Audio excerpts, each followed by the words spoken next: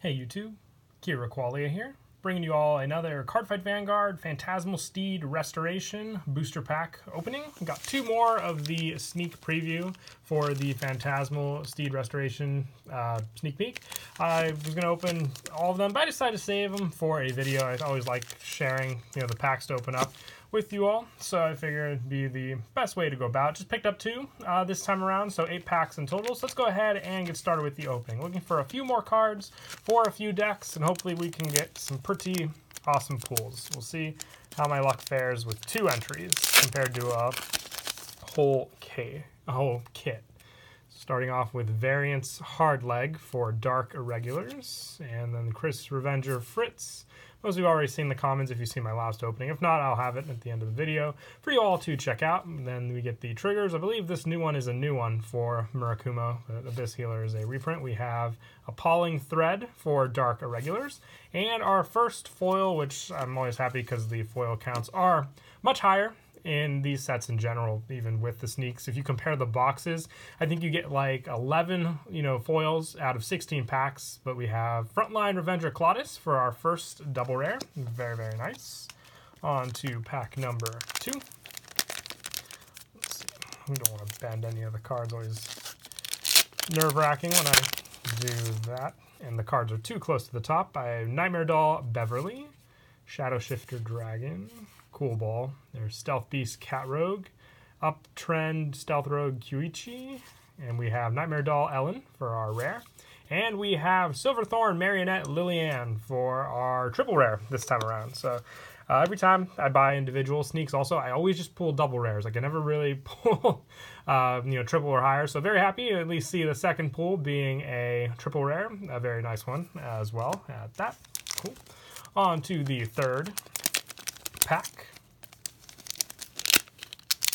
Carefully. And I actually didn't know until after the first video, but that uh, Nullity Revenger Masquerade is a Vanguard rare. I think that's crazy. Just makes it all the harder for you to build uh, Shadow Paladins, which does stink. Dark Knight of Nightmareland, awesome triple rare. Art, Delude Dancer Ethel for Pale Moon. And we have two match up with Claudius. We have Barrier Troop Revenger Dorint. So this is the grade 2 monster of both of them. I wonder if the art does line up for the two, which I believe it does, because there's the cape for Claudius and Dorint. Awesome looking artwork. We'll also make a sweet playmat as that. But instead, we got the Murakumo card for the playmat. We've got five packs remaining, and we're also foil for foil so far. Like I said, though, the ratios for these things are insane compared to, you know, older packs in general also. I think, like I said, I got 24 foils in total. Uh, Warlike Poisoner for Dark Irregulars. Uh, Hysteric Shirley and Blitz Ritzer. We've got Variance Killer Tail for our rare. And we have Stealth Rogue of Summoning Jiraiya without the Toad, like I said last time as well. Very, very cool. Four for four. I'm not going to jinx my luck. I like to keep those results going. But I gotta remember, what were the total? Yeah, I think I pulled 24, 25 out of uh, some packs, uh, which the total number was 39, I believe, for the whole four times eight. Yep, 39. So 24 out of 39 like I said, pretty good, you know, ratios for foils in total if you think about it. We have Knight of Spherity, Dudren, and we have Were Tiger Yay. We're five for five right now. Not bad at all.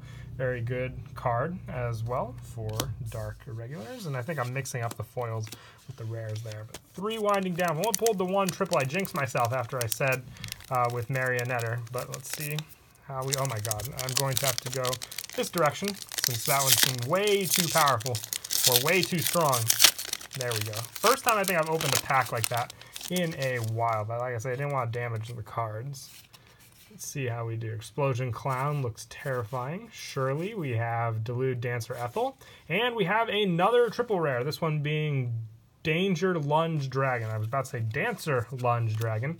But very, very nice. Six for six. I think I used up all my luck now with those cards. Let's see what the next pack gives us. We've got Knight of Authority, Demne. And yup, here's where the luck breaks. We have Stealth Fiend, Kirifubuki for our rare from that pack. But last pack, let's see how we end this off. Goemon for the Murakumo starter. We've got Variance Drag Form for our rare. And lastly, we have Mage of Intensity Math for our second rare. So yep, we ended up wasting all of our luck with the beginning of that video. But all in all, very, very happy we pulled the two triple rares and then all the others were double rares. But very awesome. I hope you all enjoyed the video. Definitely going to be picking up uh, some boxes, like I said, of the set. So definitely look forward to that. But until next time, please don't forget to leave a like and subscribe. And Kira Qualia out.